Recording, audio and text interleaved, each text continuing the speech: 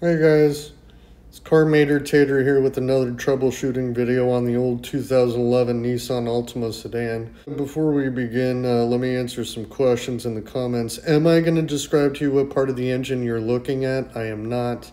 Will I zoom into an unrecognizable blurry close-up? How's this?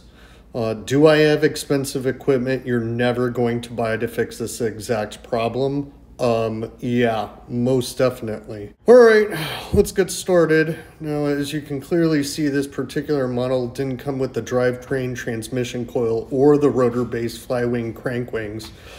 But if you leak underneath the manifold, you see it's as easy as removing the steering governor column located somewhere in this area and releasing the cam mushroom exactly two parsecs to the starboard side. So, you know, Always start with the basics. Um, now I'm going to attempt a, uh, and if you guys don't have a bicuspid shifting mount, you can probably get one at Auto Chalet. Um, anywhere between, I don't know, $6 for a decent one and about, oh, I don't know, 40,631 euros for a slightly better one.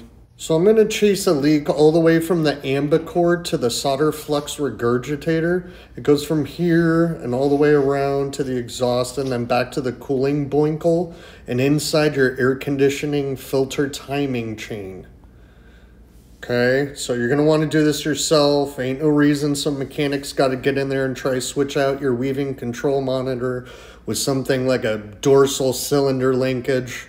I mean, if you've got the money for that, then you're a better man than me. And uh, here's the serial number for the restriction bag and for the aperture oil monitor and the racially offensive joint gearbox. Um, you're also going to need a Phillips style auger, a 10 pound Lindbergh torque winch, and a thyroid counter. All right, now we can get started.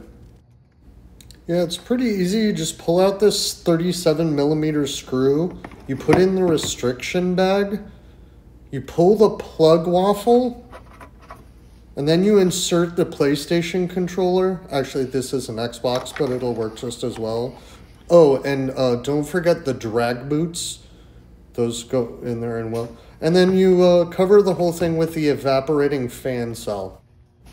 And that's about it. Um, remember, if you're integrating a departure spoiler, then spoiler, it's going to depart.